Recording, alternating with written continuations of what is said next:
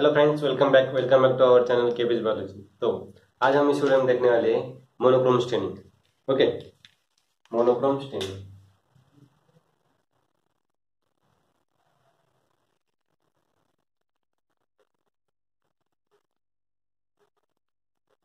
तो monochrome means क्या? इसमें सिर्फ़ एक ही colour mono means single mono means क्या? सिंगल और chrome means colour. Okay. Colour और स्टेन ओके। तो इसमें क्या होता है? इसमें सिर्फ़ सिंगल कलर यूज़ होता है और single stain.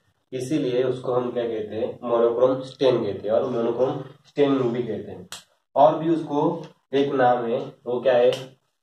Positive stain. Positive stand तो आप, आपको तो तो इसको पॉजिटिव स्टेनिंग क्यों कहते हैं? हम आपको बताते हैं कि जो स्टेन जो रहते हैं, वो पॉजिटिवली चार्ज रहते हैं और वो बेसिक स्टेन रहते हैं। ओके तो जब हम बैक्टीरिया को स्टेनिंग करते हैं तो उसमें दो टाइप के स्टेन यूज़ होते हैं। तो उसमें पहला वाला जो स्टेन है, वो है बेसिक स्टेन और सेकंड है जो एसिडिक स्टेन स्टेन के कौन, कितने टाइप से स्टेन के मेनली दो टाइप से पहला वाला है बेसिक बेसिक स्टेन और दूसरा वाला है एसिडिक स्टेन ओके तो बेसिक स्टेन में कौन से कौन से आते हैं? बेसिक स्टेन में आते हैं। क्रिस्टल वायलेट सेकंड है malachite green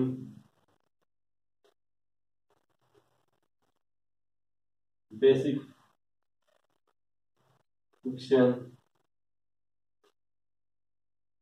okay और चौथा वाला है सैफरानी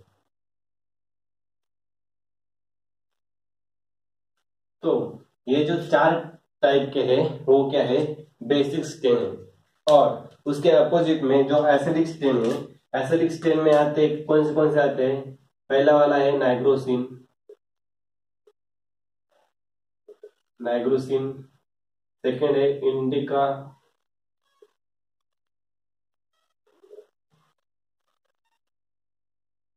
ब्लैक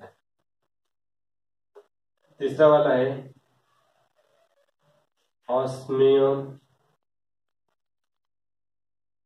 ferrocyanide ammonium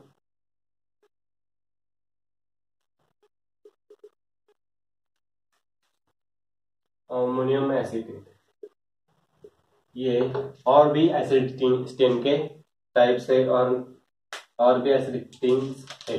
तो हम क्या करते हैं, हम इसमें जो पॉजिटिव स्टेनिंग के लिए और नेगेटिव पॉजिटिव स्टेनिंग के लिए और मोनोक्रोम स्टेनिंग के लिए हम यूज़ करते हैं बेसिक स्टेन ओके तो बेसिक स्टेन कौन से कौन से हैं? Crystal violet malachite green basic fuchsin और सैफरनिन ये चार टाइप के स्टेन हैं। तो बेसिक स्टेन में क्या होता है? बेसिक स्टेन मीन्स क्या? जो बेसिक स्टेन जो है, वो क्या रहते हैं? पॉजिटिवली चार्ज रहते हैं। बेसिक स्टेन पे चार्ज कौन रहता है?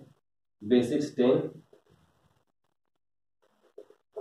पॉजिटिवली चार्ज रहते हैं, बराबर? तो वो क्या करते हैं, जो बैक्टीरिया रहते हैं most of the bacterial cell जो रहती है, वो नेगेटिवली चार्ज रहती है। क्योंकि जो उसकी सेल वॉल जो होती है सेल वॉल में कार्बोक्सिल ग्रुप प्रेजेंट रहते हैं। कौन सा ग्रुप कार्बोक्सिल ग्रुप जो बैक्टीरियल सेल है बैक्टीरियल सेल वॉल वो क्या रहती है? निगेटिवली चार्ज रहती है। ओके तो होता क्या है? Bacterial negative bacterial cell wall negatively charge क्यों रहती है? उसमें कार्बोक्सिल ग्रुप जो रहता है, वो प्रेजेंट रहता है। ओके तो कार्बोक्सिल ग्रुप क्या रहता है? निगेटिवली चार्ज रहता है। इसीलिए बैक्टेरियल सेल क्या रहती है? निगेटिवली चार्ज रहती है। तो जो मोनोक्रोम स्टेनिंग का बेसिक प्रिंसिपल है, वो हम आपको बताते हैं। तो मोनोक्रोम स्टेनिंग में होता क्या है? मोनोक्रोम स्टेनिंग में जो बेसिक स्टेन जो है बेसिक स्टेन जो बैक्टीरियल सेल वॉल जो है, उस पर अधेर होती है और मान लो अभी बैक्टीरियल सेल ये क्या है? निगेटिवली चार्ज बराबर। और उसके सराउंडिंग में पॉजिटिवली चार्ज बेसिक स्टेन है रेड कलर का मीन सैप्रेनिन मान लो, बराबर। तो ये बेसिक स्टेन क्या होती है यहाँ पे? बेसिक स्टेन सेल वॉल को अधेर होती है और कंबाइन होती है। निगेटिव पॉजिटिव क्या होते हैं? बाइंड होते हैं। बराबर। और बाइंड होने के बाद ये जो सेल वॉल है, वो क्या हो जाती है? कलर्ड हो जाती है। क्या हो जाती है? कलर्ड हो जाती है। तो हम इससे क्या कर सकते हैं? हम इसकी साइज़ शेप और रीअरेंजमेंट जो बैक्टीरियल सेल का रीअरेंजमेंट है, वो कैसा है? वो हम इससे देख सकते हैं। तो इसका बेसिक एप्लीकेशन क्या है? मोनोक्रोम स्टेनिंग के एप्लीकेशन क्या है? बेसिक एप्लीकेशन पहला वाला है साइज़ दूसरा वाला है शेप तीसरा वाला है उसकी सेल की रीअरेंजमेंट रीअरेंजमेंट कैसी? ओके तो हम मोनोक्रोम स्टेनिंग से ये पता लगा सकते हैं। और अब अब देखते हैं मोनोक्रोम स्टेनिंग के प्रोसीजर तो मोनोक्रोम स्टेनिंग हम कैसे करते हैं लैब में? ओके प्रोसीजर पहला तो हम क्या करते हैं स्मेल प्रिपरेशन करते हैं, बराबर। ग्रीस फ्री स्लाइड मीन्स जो हम स्लाइड लेते हैं वो ग्रीस फ्री होनी चाहिए। जो ग्लाइस स्लाइड स्लाइड लेते हैं हम, वो ग्रीस फ्री होनी चाहिए। तो ग्रीस फ्री स्लाइड पे हम क्या करते हैं स्मेयर प्रिपरेशन करते हैं और करना चाहिए। ग्रीस फ्री स्लाइड पे स्मेयर प्रिपरेशन करना चाहिए। स्मेयर प्रिपरेशन होने के बाद हम क्या करने वाले आगे आगे के स्टेप में हम उसको हीट फिक्स करने वाले हैं। Heat fix okay heat fix means क्या? हीट फिक्स ये मॉडर्न यूज़ होता है। मीन्स मॉडर्न मीन्स क्या? फिक्सेटिव तो हीट फिक्स करना इसका मतलब क्या? हीट शॉक देना। मीन्स कैसे? जब हम स्मेयर प्रिपेयर करते हैं स्मेयर प्रिपेयर करने के बाद जो फ्लेम चलती है, जो फ्लेम रहती है, उस फ्लेम से जो स्लाइड है, वो तीन, चार बार इसे निकालना और उसको हीट देना उस स्लाइड को।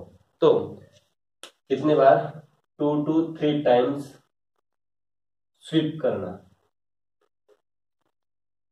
ऑन फ्लेम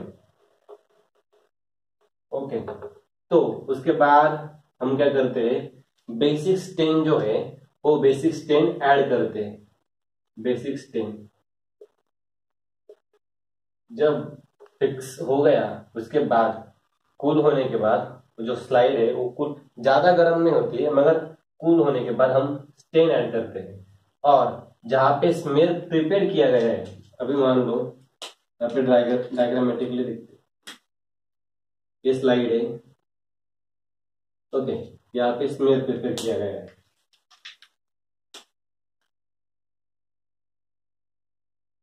यहाँ पे स्मेल प्रिपेयर किया गया है। तो इसको हीट फिक्स किया।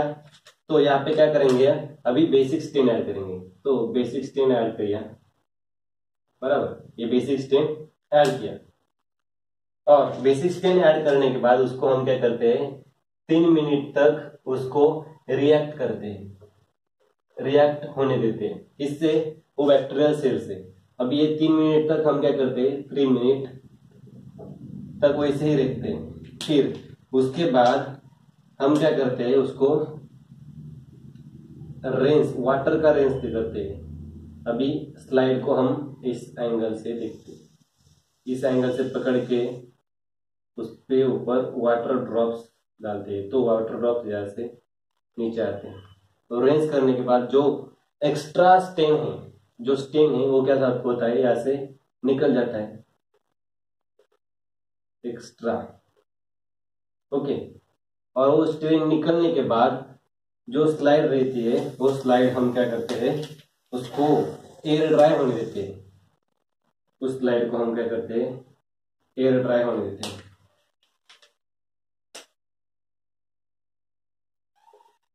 एयर ड्राई फिर इसके बाद हम क्या करते हैं उसको? एयर ड्राई करते हैं।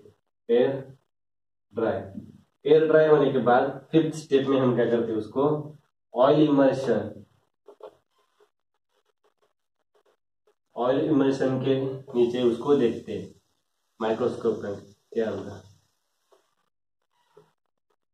okay. Oil immersion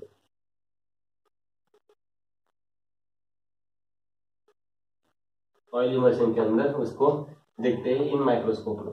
माइक्रोस्कोप तो जब हम माइक्रोस्कोप में ऑयल इमर्शन में देखते हैं तो उसमें हम one drop one drop oil डालते हैं, उसके बाद हम उसको देखते हैं। तो ऑयल कौन सा रहता है वो? सीधार उड ऑयल सीधार उड ऑयल ओके तो इस प्रकार होती है मोनोक्रोम स्टेनिंग तो हमें इसमें क्या होता है? इसमें कलर्ड सेल दिखते हैं। जो, अभी देखो, आपको देखा दो हमें ये आईपीस है माइक्रोस्कोप का। उसमें हमें क्या दिखता है? हमें, अभी हमने क्या ऐड किया था? बेसिक स्टेन एग्जांपल लो यहाँ पे क्रिस्टल वायलेट ऐड किया। ओके क्रिस्टल वायलेट तो यहाँ पे क्रिस्टल वाले ऐड करने के बाद, यहाँ पे जो बैक्टीरिया दिखेगा वो ऐसे दिखेगी। ये रॉड शेप बैक्टीरिया दिखेगी। ओके और वो जो बैक्टीरियल सेल है, जो पॉजिटिव स्टेन में मेनली क्या होता है? सेल स्टेन होती है और बैक्टीरिया स्टेन होता है।